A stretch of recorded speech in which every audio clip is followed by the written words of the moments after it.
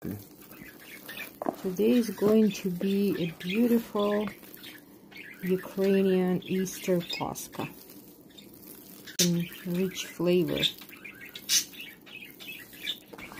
Sweet dough with some raisins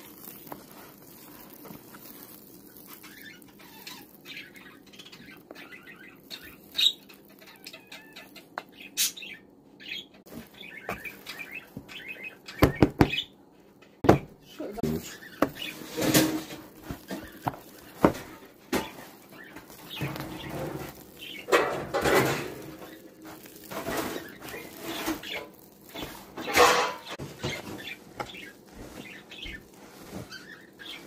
し!